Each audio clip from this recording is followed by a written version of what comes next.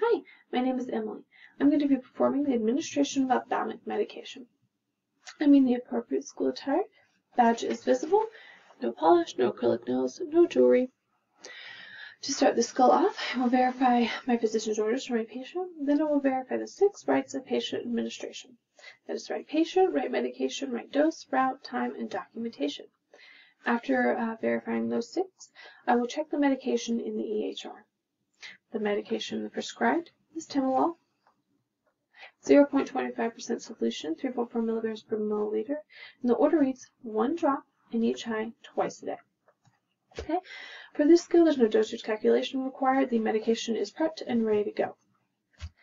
This is going to be my first step in verifying my medication with the MAR. I need to do it three times before ever administering um, any medication to a patient.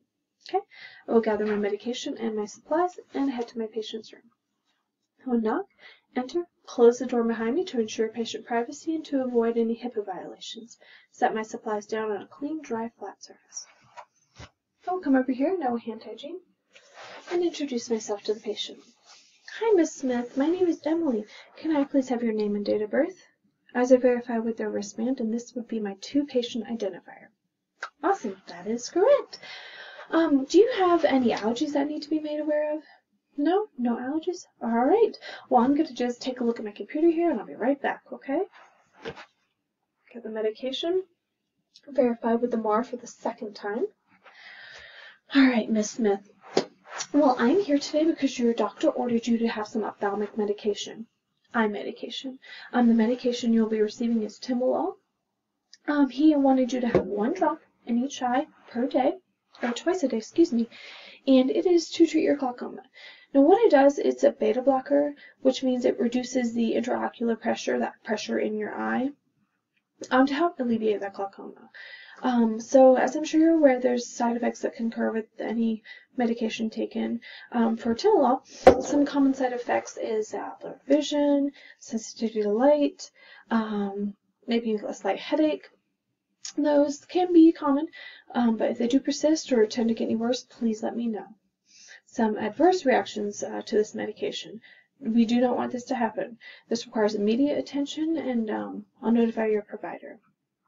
Um, so if anything like this happens, maybe chest pain, any shortness of breath, any swelling, whether that's localized to your face or if it's traveling down your throat or anything like that, let me know as soon as possible. Of course, I will come back and uh, check on you after administering the medication, but still, if it happens to arise before that, please let me know as soon as possible. Um, also, I want to tell you that when um, applying the timolol in your eyes, it is common that you can feel some like slight stinging and burning upon contact, okay? I just want to make you aware of that. Do you have any questions for me? No? No questions? Okay. Well, um, I'm going to take uh, one last look at my computer and then get you ready, okay? Third time, checking the medication against the MAR. Alright, I'm going to hand hygiene. I'm going to get some gloves on, Miss Smith. So, for the medication to be administered appropriately, it is best that I lay you uh, flat in the bed, um, just for application purposes. It's a little bit easier. Make sure we get it in your eye properly. So I'm going to lay you supine back in the bed. Alright, and I'm going to raise the bed, lower side rail. Are you comfortable, Miss Smith? Awesome. Alright.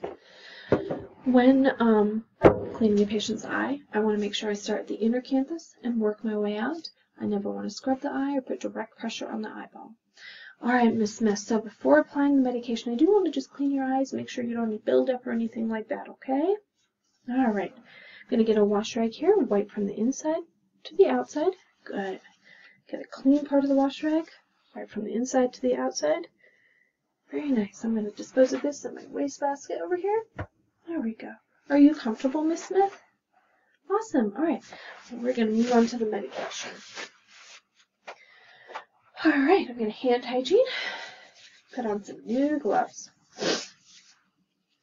So, Miss Smith, when applying the drops in your eye, like I said, the stinging and burning, but also try not to blink or anything like that, um, or close your eye because then I would have to administer the medication again, okay?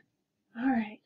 Um, when administering the medication, taking off lid, I'm going to get a tissue here and I'm going to press down on your cheekbone there. I want to expose your uh, lower eyelid, the um, conjunctival sac. That's where I drop the medication. I never want to drop directly on your cornea. I just drop in the lower eyelid there, okay? Okay. I'm going to get my non-dominant hand. Press down on her um, cheekbone here, exposing that conjunctival sac. Dominant hand. Can you look up for me, Miss Smith? Dominant hand resting on her forehead. I'm going to bring it about 1 to 2 centimeters away from her conjunctival sac and drop. All right, dispose of that. Get a clean tissue. I'm going to apply pressure here on the ear inner eye, Miss Smith, okay? I apply pressure on her um, nasolacrimal duct.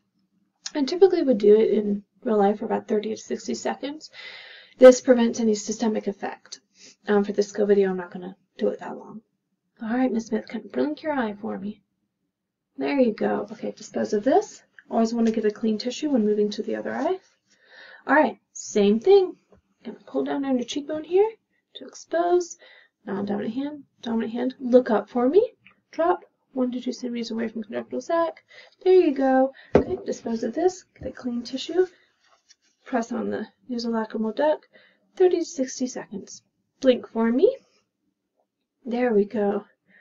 All right, good. You okay, Miss Smith? Any complications? No? Okay. All right. I'm going to sit you back on the bed, okay?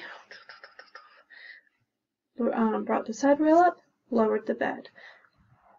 Are you comfortable? Awesome. I'm going to make sure I disposed of my tissues in the trash. I'm going to remove my gloves. All right. I am finished with the um, procedure. My patient has stated she is comfortable. Her bed is low. Two top side rails are up. She has her call light here.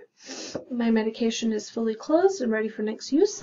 I will hand hygiene, grab my medication. Now we'll go document my results.